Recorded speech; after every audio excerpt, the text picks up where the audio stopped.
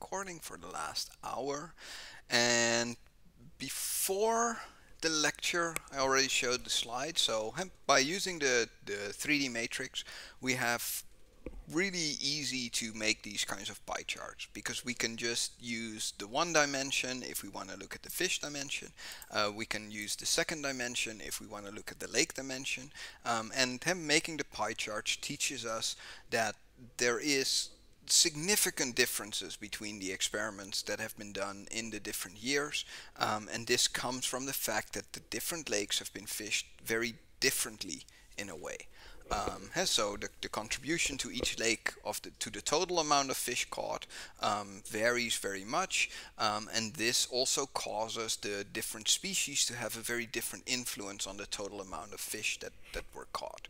Um, so the observations that we made was that there are some significant differences in fish composition per year. Um, there is different years um, have as such the contribution is different and that means that we're probably not allowed to draw any conclusions across years and across lakes. Um, so we have to probably limit ourselves to looking at individual lakes um, and then we run into the issue that the sample size that we get from these lakes is, is relatively low compared to the total amount of fish that we caught. Um, so is there a solution? And of course yes there is. Um, group similar lakes together, which is the first idea that comes to mind. We just pretend that all of these fish were caught in like one big mega lake, um, but of course that's not something that we can easily do. But if lakes aren't too different, we might be able to group them. Uh, Win-win, one, two, three. Thank you for following. Um, so if we group them, we increase the amount of fish, and then we also increase the amount of statistical power that we have. Um, so that's kind of what we want to do. So out of all of these piles of Legos that we have, so all of these different lakes, um, we're just wanting to kind of see which lakes are similar, and we put those together. If the lakes would have been all fished in a standardized way, would that change the picture? Yes. Yeah, definitely. Um, if you science or or um, not so much science, but hey, if you do an experiment and you then repeat your experiment, you have to repeat it in the exact same way to get data which you can can merge together. Um, and the standardized way here like of course there it could be that from one year to the next uh, the dominant fish species in a lake changes and then the year after another fish species happens to be in the lake right? These lakes are uh, maintained by people. Some of them will be filled with fish. Um, there's um, um, organizations that are managing these different lakes and they have different ideas of how these lakes are managed.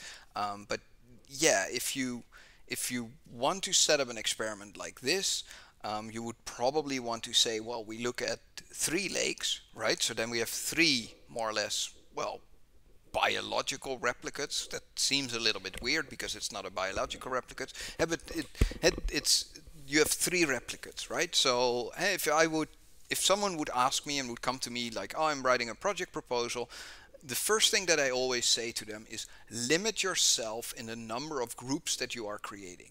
Because the more groups you create, the smaller the sample size in each of the groups, the less statistical power, and the more likely that you're going to miss some very, very significant effect. Um, and so I would say look at three lakes.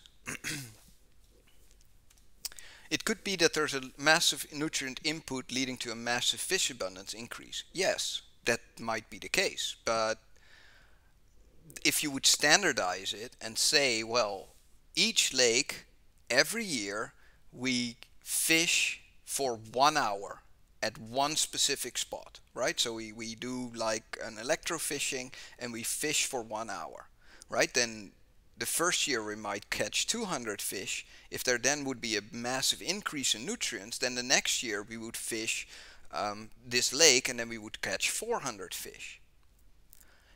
But then that is something that we can more or less compare to each other, right? That the increase is because we now have standardized the time that we are fishing, right? So if I'm fishing for an hour and catching 100 fish, next year I fish for an hour and catch 200 fish, then I can kind of conclude from that that there is an increase.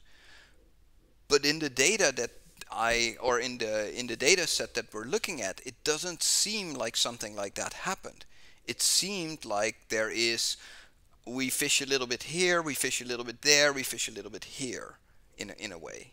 Like um, which it doesn't seem that there are standardized ways like um, we fish for an hour, we use this technique um, and so th th there are some some some issues there.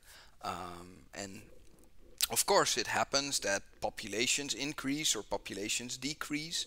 Um, but of course, it's very strange to see that in, in, in one of these lakes, like the Lomar Lake that we looked at, that in one year, 90% of the fish we caught is type X, and then a year later we fish again, and now we catch almost none of the fish from type X. Because then you have to start wondering what happened right? Did did all of these fish of type X die? Um, but the, the, the, you can only kind of um, see that when you when you standardize your your fishing methodology. Yeah, so if you have different sampling efforts between years and lakes, then of course you cannot compare between years and, and lakes. It would be like doing a laboratory experiment and um, using method A the first time and then using method B and then using method C. Um, and the first time you use one kilogram as input and the second time you use 50 kilograms as input. Um, then of course the data that you gather is not consistent and you, you can't easily group those. Group those. Um, but hey, let's try and figure out if there are some of these lakes which are similar, which we can actually group. So when are two things equal? Right, so when are two things considered to be equal? So hey, we can use statistics, right? So we can test if two lakes are different. If they are not different, then they should be equal.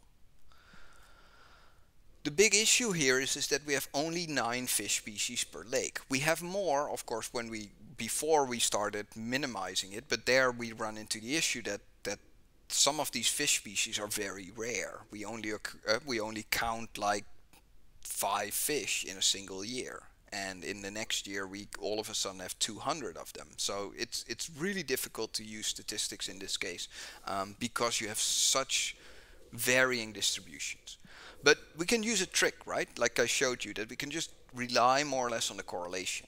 And um, normally I would say that if you compute a correlation and a correlation about 0.8 or higher, uh, that you could say that those things are equal right? If I if I measure to or if I measure a whole bunch of data and I measure a whole bunch of data later on, and there's a there's a correlation between the measurements that I did yesterday and today, and this correlation is high, then that means that I've probably measured more or less the same thing. Um, but you could use a factor that incorporates different efforts and catches catches per unit effort. No, yeah, yeah, that would be a standardization as well that if you take the, for example, the amount of spots that you fished for an amount of time, right? Then you could define that and then you could calculate fish based on that. But again, here you have to remember that if you only catch one or two fish, then standardizing based on a unit of effort will kind of artificially inflate that massively um, if if you catch 200 versus when you catch two right? So it's it's not easy combining these things and um, for every step in your analysis that you make um, uh, you have to defend that in a, in a way right? If you want to publish a scientific paper then a reviewer will kind of scrutinize every step that you did. And the reviewer will have their own views on how to do this. And if they don't align with what you did then you run into issues because then eh, you end up in conflict with a reviewer. Or if you have three different reviewers having three different opinions on the same kind of technique that you did then it becomes even harder right because you cannot satisfy people who say hey if you have a reviewer saying you should use a t-test and the other one says you should use a Welch test and the other one says you should use a linear model right you can't satisfy all three of them So, and any approach that you take will then be rejected by at least two out of three reviewers because you can only satisfy one of them. Um, but then the way that I thought about it is that, well, we have three different years. Um, in my mind, I'm just going to say everything which is correlated above 0.8 is um, more or less equal. Um, so if I sum the correlations from each of the years, um, then when the correlation, the summed correlation is above 2.4, um, then they are equal, right? So I'm just saying, well, 0.8 per year is good enough, and I'm leaving a little bit of room because, of course, you can sum up to 2.4 by having a correlation of 1 and a correlation of 1 and a correlation of 0.4. Hey, but on average, if the correlation between two lakes across the three years is higher than 2.4, it means that from year to year to year, um, the correlation between these lakes tended to be relatively good or relatively okay. So we, we kind of can assume that we've put in the same amount of effort and we measured more or less the same amount of, of, of or the same composition of fish within these two lakes. So um, again, using the 3D matrix, it becomes really easy to do the correlation, right? Because we can just say fishy 2017.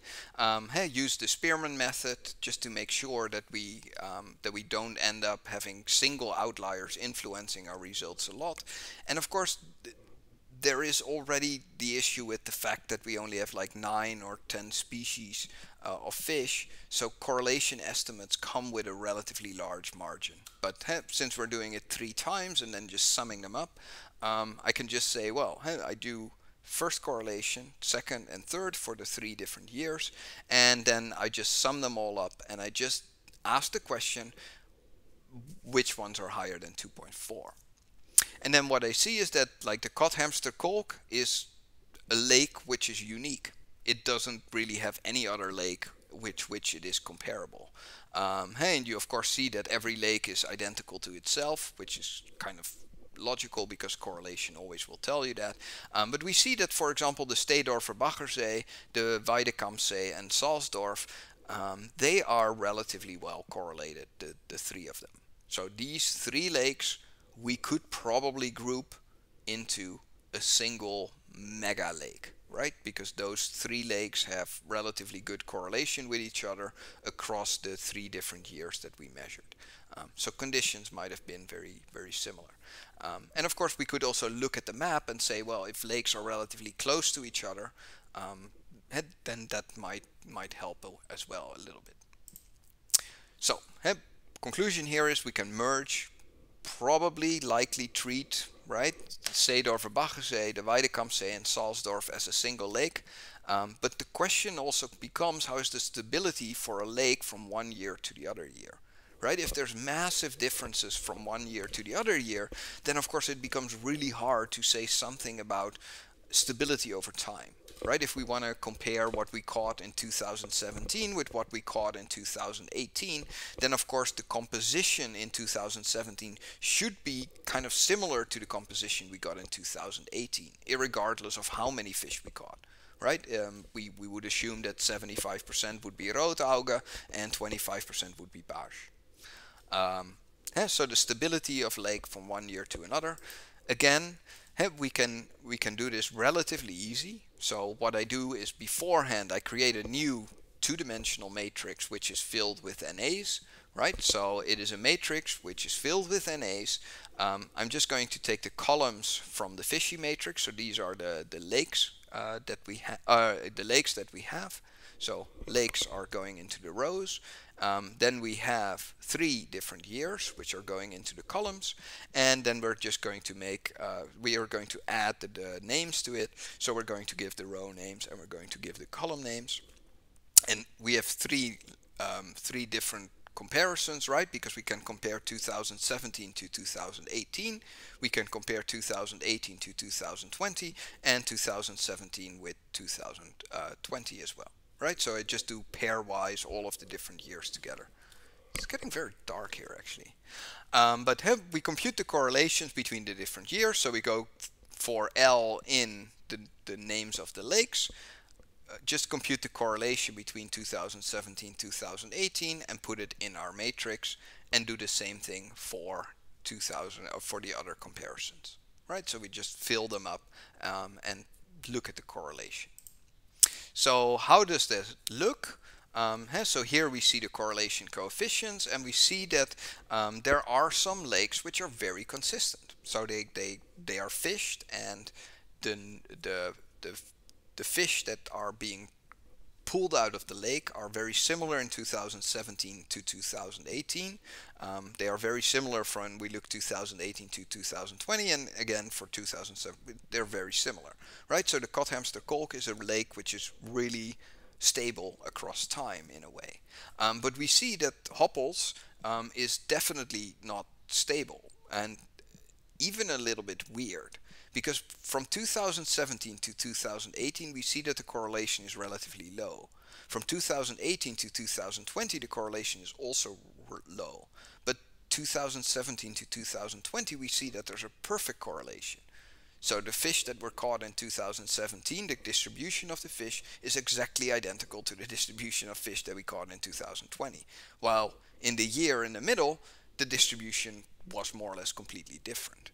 Um, but we see that there's uh, Hoppels has like relatively low correlation from year to year. Um, let me actually put my webcam up a little bit um, because um, it's getting really dark. I think I think we yeah that looks a little bit better. Think we're getting a massive thunderstorm soon. Um, there are lakes which have medium correlation as well. Um, so we have the Wiesedermeer, the, uh, the Weidekampsee, Stedorfer Baggersee, Salsdorf and Plockhorst. Those are those are lakes which have relatively okay correlation. Um, and all the other lakes seem very, very stable across time. Um, so, yeah, but this is just something to keep in the back of our minds when we when we want to um, kind of compare two years to each other.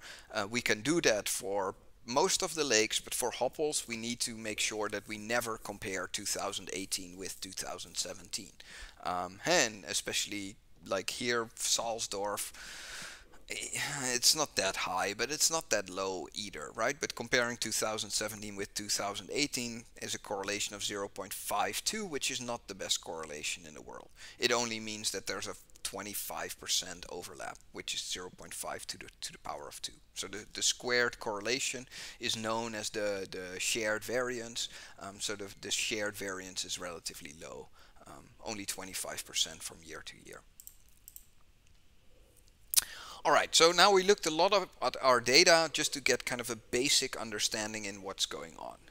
which lakes are the lakes that we can look at, um, but of course this experiment is much bigger because they also applied all kinds of treatments, um, apparently. So I load, uh, I, I, loaded in the data set, uh, which is called Rotauge, where we have the size of the fish being measured. Um, so this is just for the Rotauge, so for only for one fish species. Um, every fish that they caught was measured, the length of it, um, in millimeters or centimeters. That's still undetermined. Um, probably millimeters, but you never know. Uh, and uh, there's different treatments that were applied. Um, so uh, the first treatment is uh, Totholz. I, I was like, I'm I'm not a native German speaker, right? So I, I looked at this. So I saw Totholz. So the first thing that I do when I see a word which I don't know is I just throw it into Google And Google told me that unter dem Begriff Totholz versteht man stehende und liegende Bäume oder Teilen davon, die abgestorben sind. Es ist der letzte Entwicklungsprozess im Leben eines Baumes und einer der wichtigsten Strukturelementen unseres Wald. So from that I kind of figured out that probably they took like dead branches and wood and put it in the water. Then we had something which was called Flachwasserzone plus Totholz. I have no idea what happened exactly there. We have a controller group, which probably means that nothing happened. Then we have Fischbesatz, which someone told me is when you add fish to uh, to to the water. So you you put in more fish, and then we have an unbewirtschaftete controller. And then I was really confused because how can there be two control groups? That, that it, I'm just like as a statistician, when someone says, no, we have two control groups in our experiment, then I'm thinking like, okay, and what's the exact difference between it? And is it because it seems to me that there's some uncertainty about what really is your your default group, so to speak. But I, I looked at it further, and um, these are the definitions that I saw, um, and the controller and the unbewirtschaftete controller, so the uncontrolled. The other, the one is fished, the other one is not fished. But you're doing an experiment where you're fishing lakes. So you mean that the unbewirtschaftete controller was never fished or wasn't fished by other people than you? Because that makes a big difference, right? No activity by recreational anglers. All right. And that, that means that you put a security guard around the lake and no one illegally fished it? Like there wasn't a, a, a group of foreign workers nearby that just every Saturday afternoon? Controllers anglers go fishing there. Alright. But you didn't put anything in the water. Interesting. I, I struggled with this because I, I chose a completely different control group because for me the control group is before you put something in the water. That's the control group. That's something I don't know. Illegal fisheries never show up in data. That's not entirely true. That's not entirely true. Like if you're all of a sudden missing all of your fish in your lake right? If you fish it one year and there's no fish coming up then um, you can be damn sure that someone fished it. If it's your unbewirtschaftete controller fishing section. But um, but it, it, like for me, it's it's a little bit strange because um, natural predation. Yeah, well, it's really strange that all of the fish are gone, right? Like then someone like hey, like predators are good, but they're not as good as to decimate a whole lake and there's nothing in there anymore. Um, but for me, the the the control group is so if if I would set up an experiment, right? I would go to a lake, I would fish it for an hour, and I would see what I got out of the lake. Then I would put in my treatment, right? So I have like this benzoic acid and I, I just throw a barrel of it in the lake. Or I take like my nuclear waste and I just dump the nuclear waste in the lake and then I wait some time and then I fish it again. So now my control group is the fish that I caught before. The effect of the treatment is seen when I put in the nuclear waste or the, the benzoic acid, right? So for me, that makes most sense as a control group. Having other people fish there, of course, is, is logical, right? Because you're dealing with a dynamic system. But a control group, or at least in, in terms of statistics, means that it's it's before and after the experiment, right? So you have before the experiment begins, you fish, this is your baseline, and then you compare everything after your treatment to the baseline level. And then of course there can be different situations like controller, which means that people fish there. Unbewirtschaftete Kontrolle is something different because no one fished there. So these are different treatments, but your control group or your real kind of zero group, eh, your null hypothesis group, or the ones that is the ones before you started doing anything. So before you did. But let's just look at some basic statistics, right? So the Rotauge, um, when I look at it, it looks like this. Um, so we have a, a, a, puzzle here because we have a, a, lake, a date, and a point ID. And then we have a time point, like before, and then we have treatment, which is the treatment that we just talked about.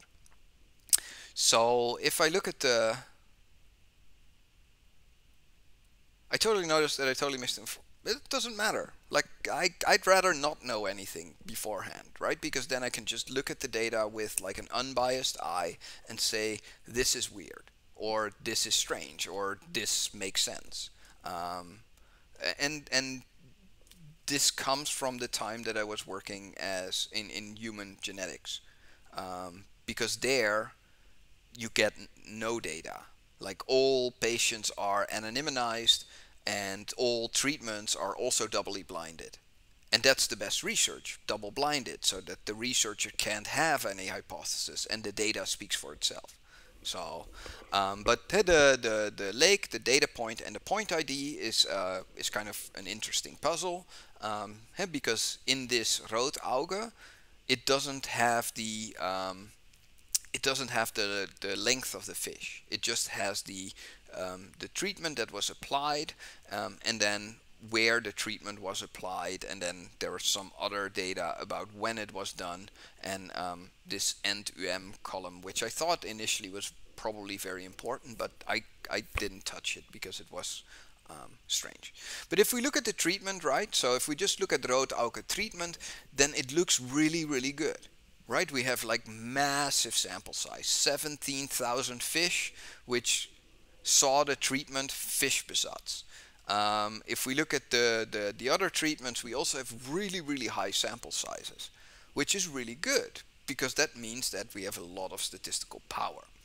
But then I thought like, let's include this time point thing, right? So before and after. And the nice thing is the table function, you can give it a vector and it will just table everything which is in the vector. You can use the table function on a matrix which has two columns and then it gives you uh, split out across the treatments and across the time points. So the table function, really useful function, really easy if you want to make two-way tables. Um, and then I saw something which was really good as well because we have as many fish caught before the treatment as after the treatment.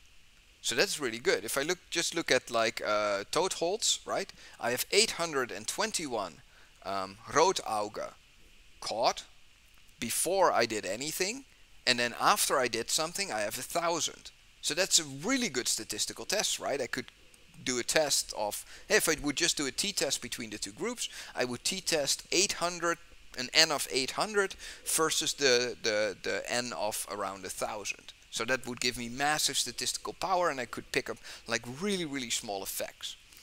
Um, of course, um, I also split it out per year right? Because year is our kind of third massive dimension. And um, if I do it like this, now I thought this is strange. Because in 2017, there is only before treatment and no after treatment. So that means here I do a t-test for holds on 821 fish before and zero fish after, meaning I have no statistical power. In 2018, it's the other way around, and in 2020, it's also the other way around. So, yeah. Um, this is a little bit of a pickle because we just concluded that it's very hard to look across lakes across time because of the different effort put in and the different contributions of each of the lakes. So we can't look at, because inside a single year, I would be very comfortable of testing before and after, right? Because it's in the same year, um, so that would be good. But we can't do that. So we run into an issue where we have no power to test within the year, um, but we have power to test like alongside the year. Plus, if I would look at this data in, in this way, oh my god, um, if I'm falling out, that's because uh, a lightning strike just cut off the stream. Um, but if I um, if I think about what happened is that in 2017 the different lakes were fished. And then they put in the treatment. And then they came back in 2018 and fished the lake again. And then they did the same thing in, in 2020 so they fished the lake again. And again this is after the treatment because the treatment was applied in 2017 so yeah that's a little bit difficult but we can make some um, statistics still, right? Because we can look not eh, we can't group all of the lakes together across the time because that's something that we we are probably not allowed to do statistically. But we can look at a single lake across time when the lake is not Hoppels, right? Because Hopples is a very weird lake, and then we have some of the other lakes which are also relatively weird, um, but um, probably any of the other lakes would be fine, right? The, the lakes which are stable across time are lakes which we can use um, to do the, the analysis here. Um, so we have to look, or we have to do the analysis within one lake, comparing 2017 to 2018 and then comparing 2017 to 2020 to see if the treatment that was applied had any effect on the size of the of the fish. So this was my hmm. So in 2017 they fished before they applied the treatment. So what is the control group then? So in my mind, uh, the it's getting really dark. Let me let me turn on a, a light here so that you guys can see me as well.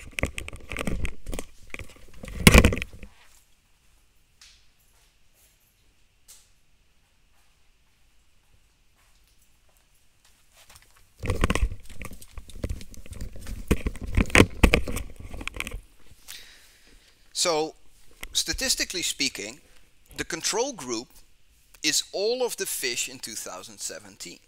Because none of the fish that were caught in 2017 ever saw any treatment.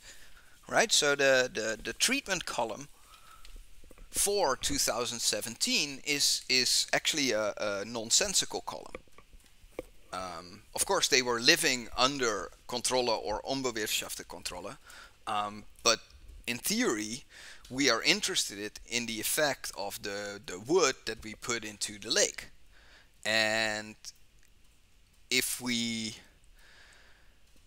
before we put any wood in the lake, then all of the fish were more or less living in different circumstances, right? Because a lake is either uh, fished or not fished, or um, but the the treatment itself, the, the the adding of the wood to the water, um, was only done after the fishing in 2017.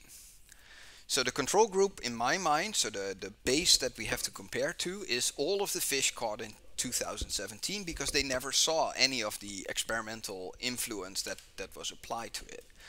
Um, and then we have of course 2017 versus the other years and then the, the, the why do we have this but now we figured that out what is the difference so first let's look at the data and solve this lake data point puzzle, right? Because we have two different matrices and they are coupled together by this uh, lake, date, and point ID.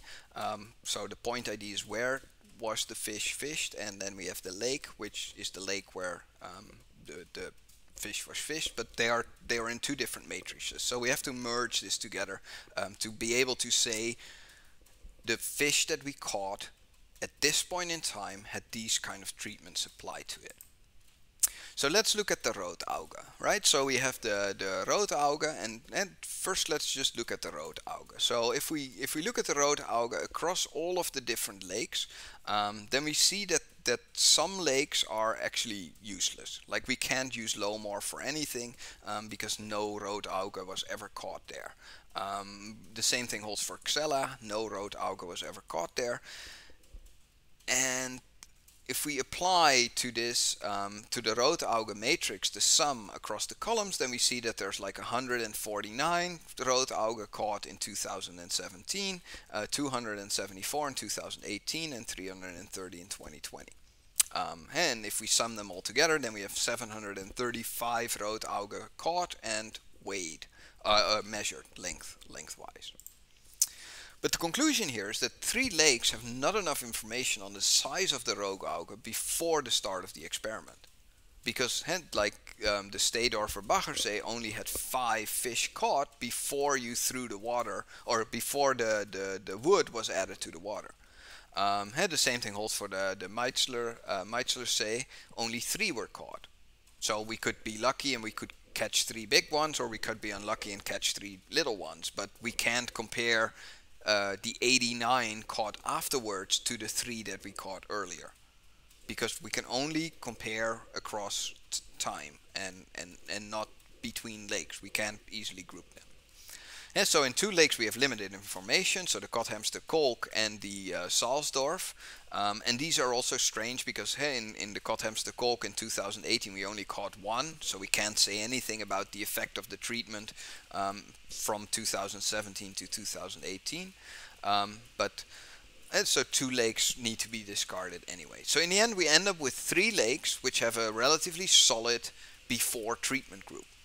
Right? So this these are three lakes we can do something with with them. Um, so let's look at the Rotauge in these three lakes. So first I'm going to just make a new variable which is called lakes, um, which has the names of the lakes in there. Um, then I'm going to use fishy Rotauge lakes, um, apply to this thing the sum and see how many fish I get. So I get um, 90, uh, 93 in 2017, 53 in 2018 and 152 in 2020 which means that in total there were like 300 fish caught um, um, across the three different years. Um, I make myself a little helper function to um, which as a input gets the fish data set of that year right? So the f data set is the is all of the fish caught with the length of the fish. Um, so this will tell me which rows are um, containing Rotauge right because the the the uh, the data set the the Rotauge variable which has the treatments that were applied to it um, doesn't have the lengths in there so I have to fit the lengths from there um, and then of course I, I want to just look at these three different um, three different lakes. Um, so I use my helper function here to determine from the F 2017 which ones are caught in this lake and which are Rotauge and take those ones out. So I just make subsets, right? I could have used the subset function as well, but I, I generally just use this kind of structure where you use selection from the matrix. Um, so I determined that, uh, so I just made three subsets, Wiesedermeer, uh, Kiesteig and Salsdorf, and those are the, the for 2017. Because I just wanted to first look at my control group. Um, but you see that we we started off with having 753 fish measured. But from a statistical point of view, only 300 of those can probably be used to do any kind of statistics on. Because the other ones, eh, there could be a massive lake effect. It could be that in lake number one, a road on average is like 500 or uh, uh, 500 millimeters big.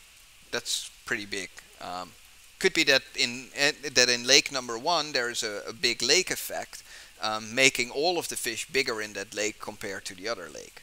Um, so eh, so we start off with like a sample size of 753 and then we already have to reduce that to like 300 just based on the fact that not every lake has a reasonable amount of Rotauge caught and then I need to subset this per lake as well because I need to know for each of the lake how many fish there were.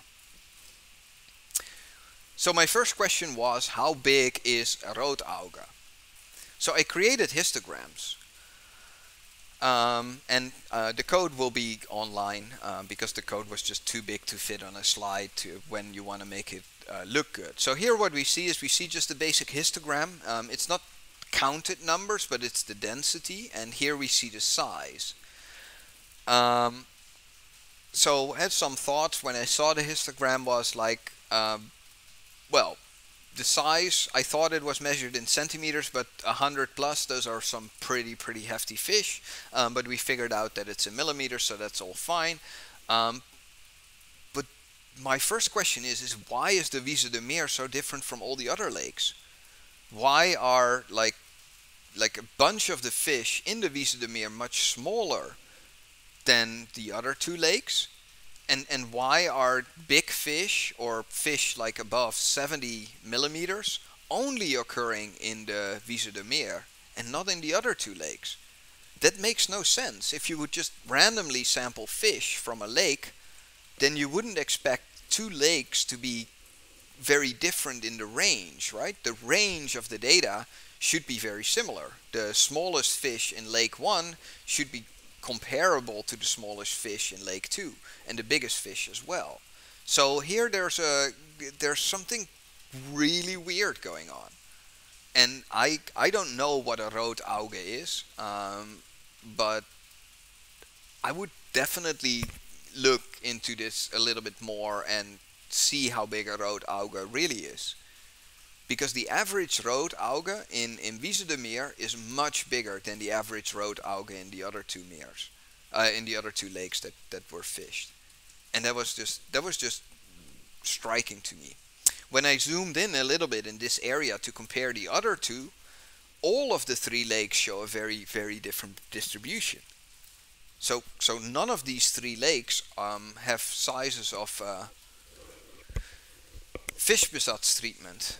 Um, no, that can't be the case in this case. Um, but it, it could be. Why did you change color? You're now red in all of a sudden. Um, but it, it could be. It could be that there is some kind of treatment going on. But for the statistical power, because we actually want to use these 300 fish, we need to be able to group these lakes. And we definitely can't group these lakes at all. Because every all these three lakes have very different size distributions. So we can't just merge them all together. That's statistically not allowed. If two things are different, you can't merge them. Um, my other big question is is why is there no Gaussian distribution? Why does this seem like more or less a two-part distribution where you have relatively big fish and you have relatively small fish? Yeah, we're only looking at 2017. This is the control group, right? Nothing happened here. So no treatments were applied yet. That's that's that's the thing that I found really strange. And and um, hey, of course there something happened to the lakes before you started doing your experiment as well, right? Um, that's just the the thing that it is because it's a lake. People can go there. Um, like, but I would definitely check out the Wiesedermeer and, for example, Salsdorf and see what the difference is between the lakes when you, before you started the experiment because either all the big fish in Salsdorf were not there because of some reason um, or so th there's something strange going on and I didn't know what. Um, why there is no Gaussian distribution in any of the lakes also puzzled me a lot um, because if you would just a fish growing in a lake and there's no real pressure or anything on these, right? If they're not like, um, if there's no sluice that they have to get through to get to the lake, and that's not the case because all of these lakes have no um, in and out put. Um, so I was I was really wondering about why there's no real Gaussian distribution. I would have expected a relatively normal Gaussian distribution, especially with the number of fish that we're looking at. So grouping them together, I would have expected a really beautiful Gaussian. Um, there are massive morphological and productivity differences between the lakes. Yeah, that's what I thought. Um, and that's also what you see from the data. You can't really group lakes together um, because every lake is more or less a unique environment, um, which makes this whole experiment a lot harder because a lake is actually not a replicate of the previous experiment. They're actually all individual little experiments that you do.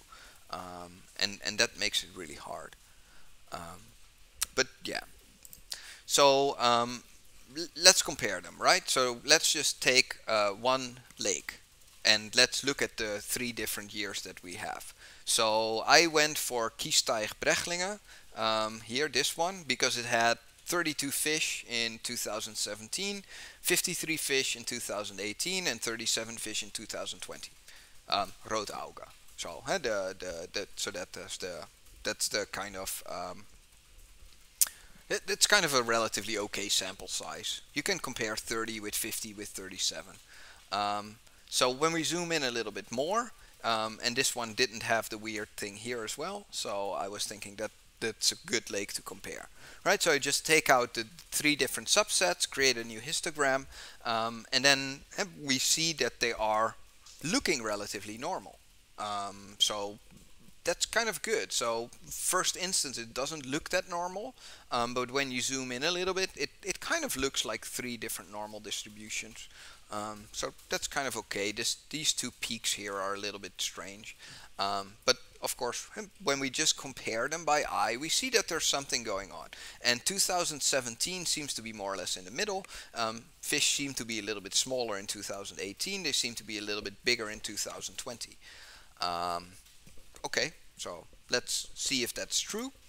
Um, so when we do statistics, we first want to check if things are a normal distribution. And I just had did the Shapiro test, um, which we discussed in like lecture number six. So I just Shapiro test all of the three distributions that I have. Um, all three distributions pass the test, so they are not significantly different from normal. So we can just use parametric statistics, which is really good. Um, so let's pairwise t-test them. Um, so pairwise t-testing teaches us um, that um, in 2017 compared to 2018, there is a significant difference in the size of the fish. Um, and um, the mean in X, so in 2017, was 52 centi uh, 52 millimeters, um, and the length in 2018 was 49 millimeters, 49.3. Um, so they became indeed a little bit smaller in 2018 and um, there seems to be like a 3 millimeter increase in 2020 compared to 2017 and I'm only doing 2000 eh, because 2017 is my control group. For from my statistical perspective I would say that that is the control group. It is before you did anything. So hey, we compare all of the years after treatment to the year before treatment um, and we see that there are significantly significant differences, right? So I do the t-test to determine the year effect because some years the weather will be warmer so fish will grow quicker or another year there might be a lot of rain so there might be more water in the lake or or whatever right so there there is a year effect so there is a um, if we would do a linear model, then we would say the size of the fish is determined by the year that they were caught plus the treatment that was applied to them. And that's kind of the model that I'm trying to build, but first I want to use some t-tests to see if there is really a year effect. So there is a year effect, so we should include a year effect into our linear model. Um, so and let's let's do some statistics.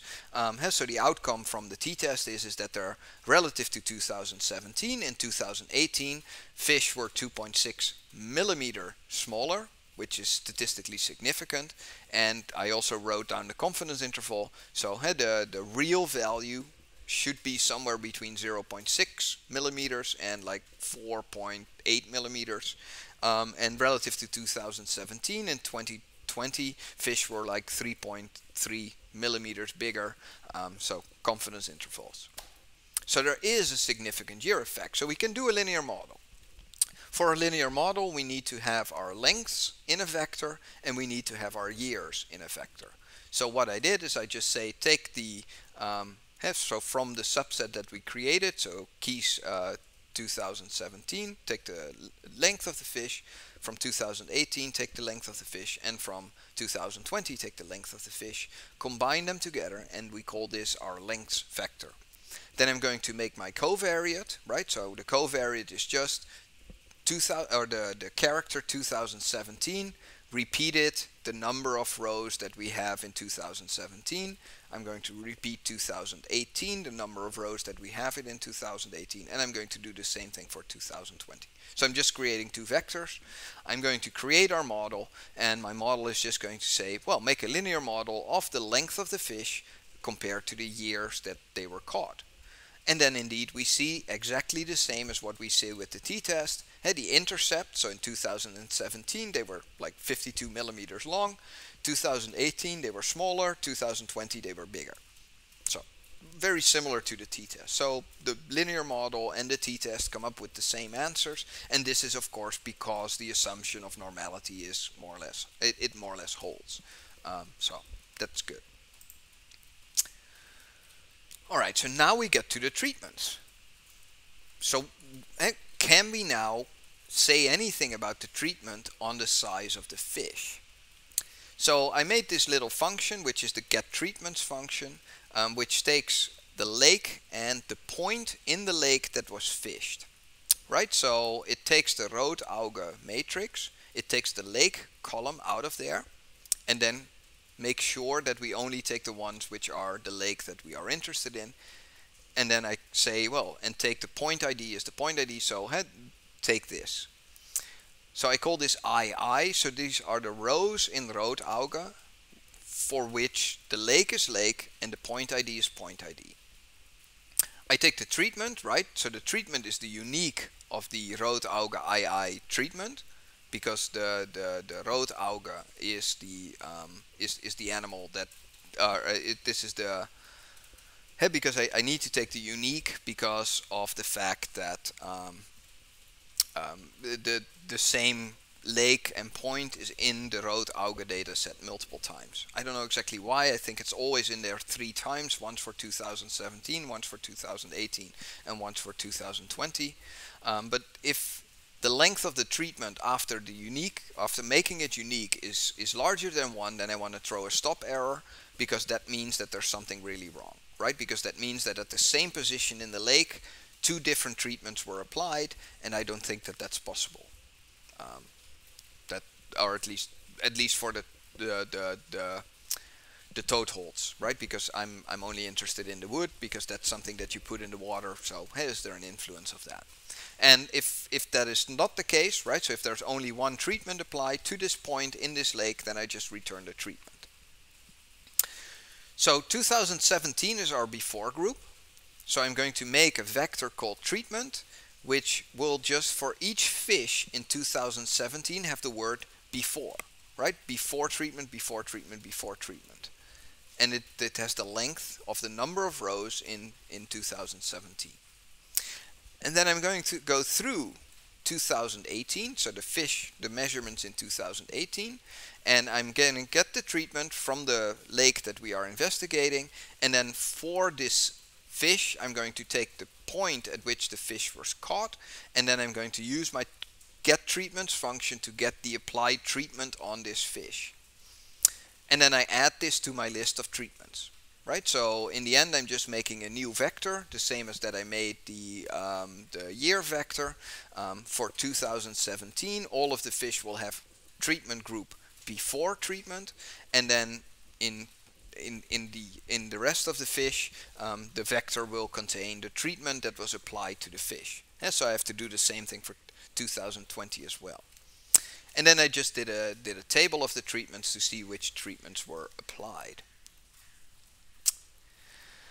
And then I did my linear model again, right? Because I now have the length of the fish, I have the year in which it was caught, and I have the treatment which was applied. And now something strange happened, because when I looked at my model, it says, well, the standard fish caught in 2017 was 52 millimeters. In 2018 they were smaller and in 2020 they were bigger. The effect of the treatment of Totholz is NA and I thought NA what what's going on here? But it turned out and let me switch you guys to R and let me just load in this part of the analysis just so that I can show you um, let's just have all of the code just run by, so just to make sure that I have everything loaded correctly.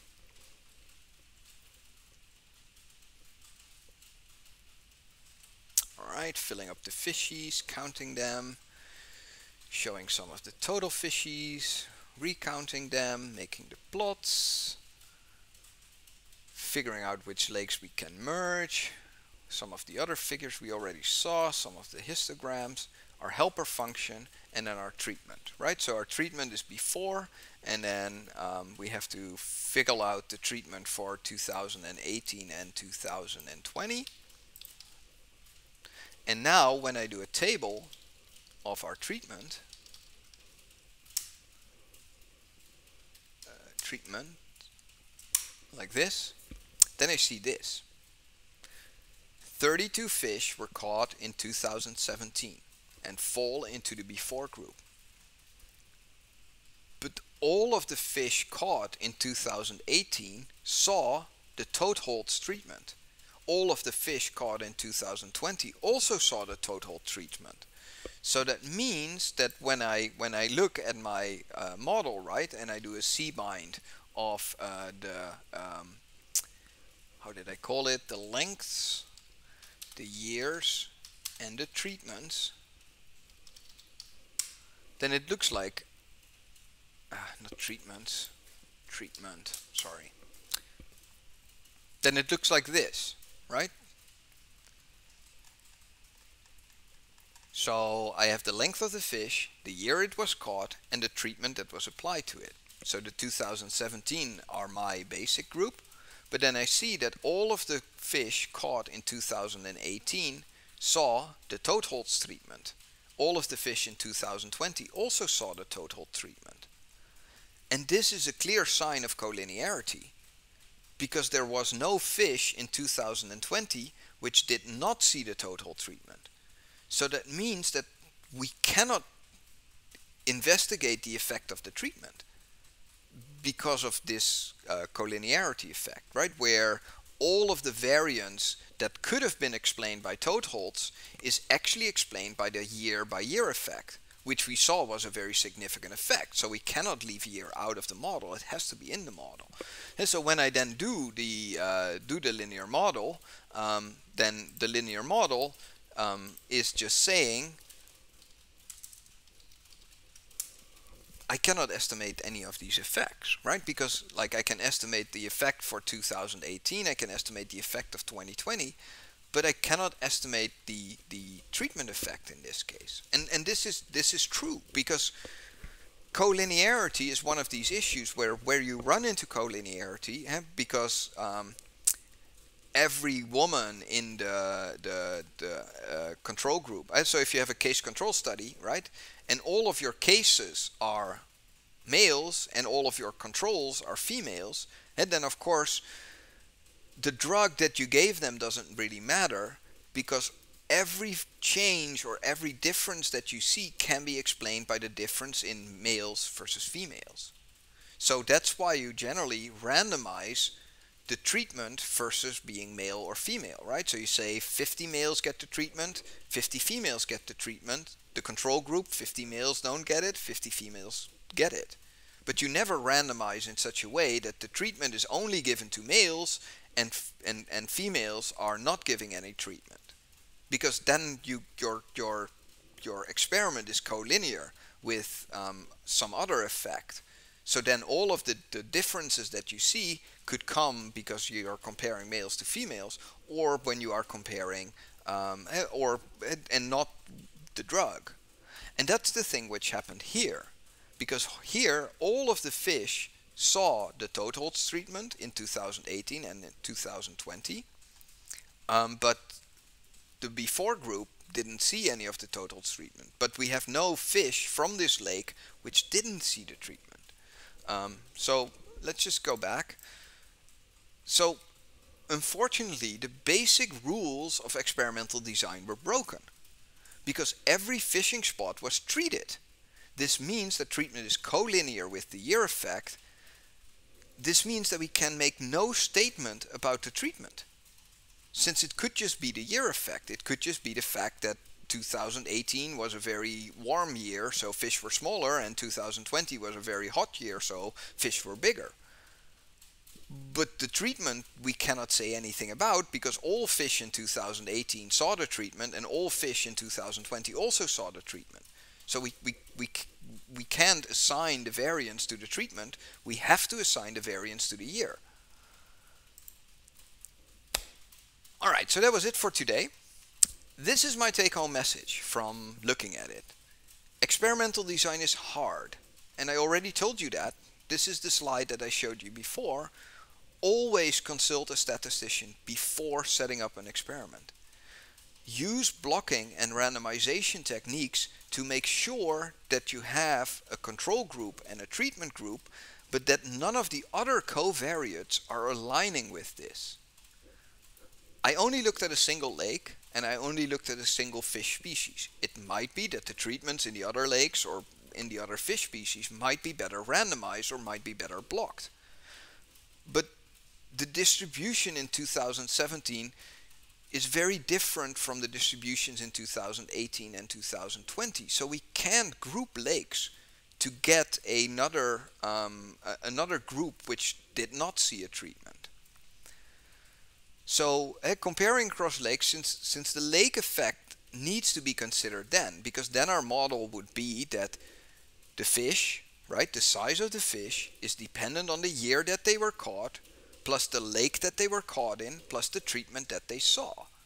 But th this won't solve the collinearity that we just saw for this one lake between the um, between the treatment and the year, because even if another lake has these differences, then that doesn't help us for saying anything about this Kiesteig-Brellinge. So data gathered in Kiesteig-Brellinge cannot be used to investigate the effect of Totholz on the Rotauge because of the collinearity.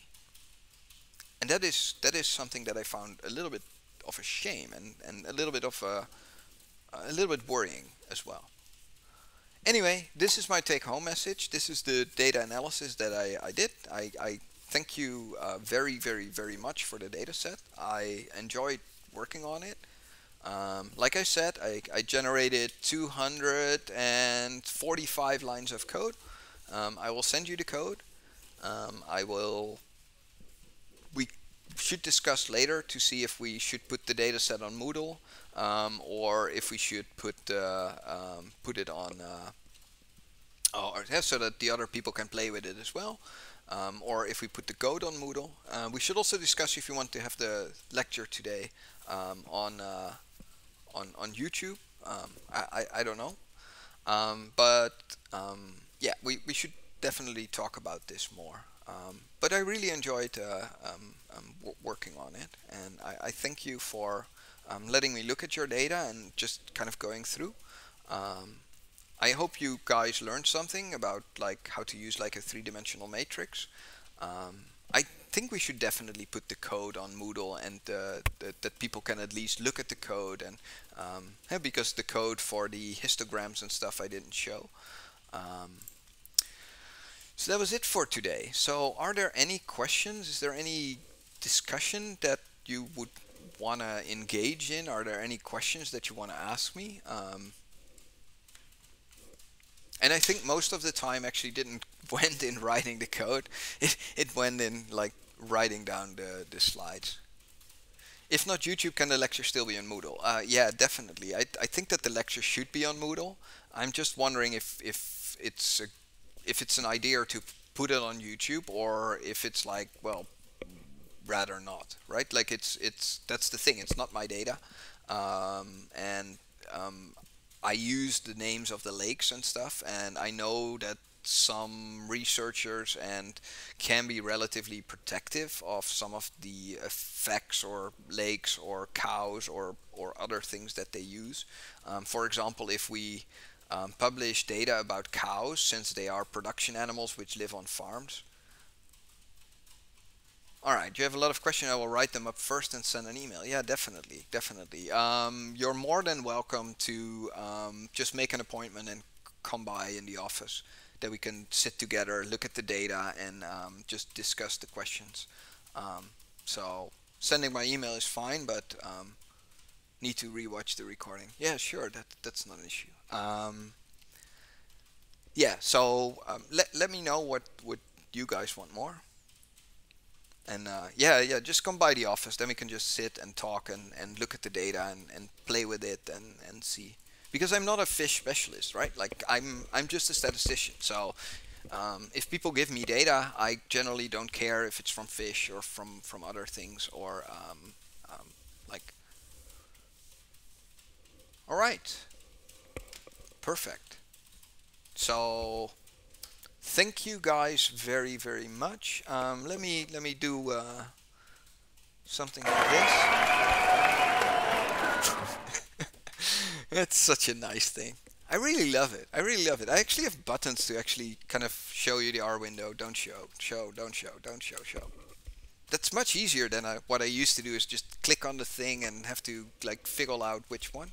Um, so I hope you guys liked it. I hope you liked the new style as well. So any comments or discussion about the, the style of the slides compared to the older style, which is um, which is this style, right? So with the with the like with the wave, which I know a lot of my colleagues don't like. A lot of colleagues say that well, your slide design that you always use, you lose like 30% of your slide just by the header, and I'm like, yeah, that's that's a, an, a choice that I make to not overload slides with text or not overload them with like pictures and stuff.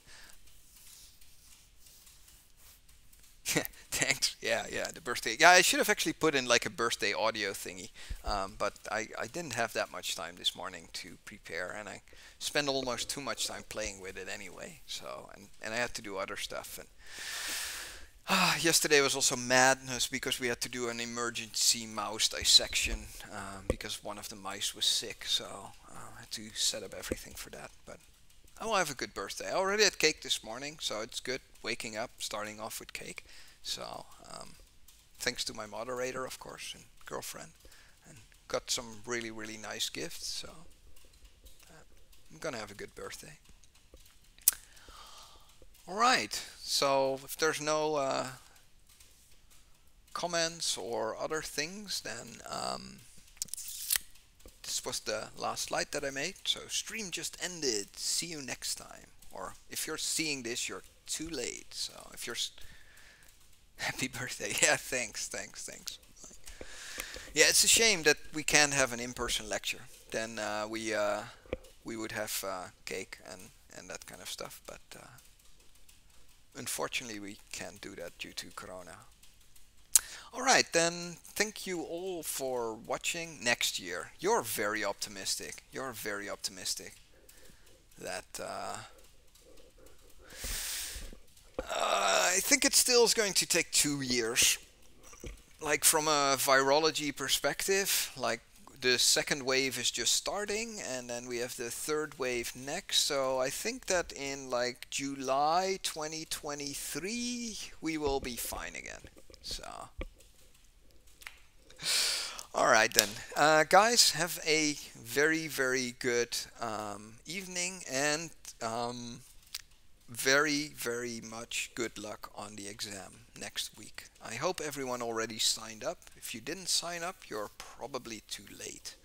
Um, but thank you for watching, and I will see you guys sometime. I don't know. We don't have a next stream planned, so it's gonna be tricky. I might play a little bit of online games when I have a little bit of free time. But uh, see you guys soon and uh, good luck on the exam.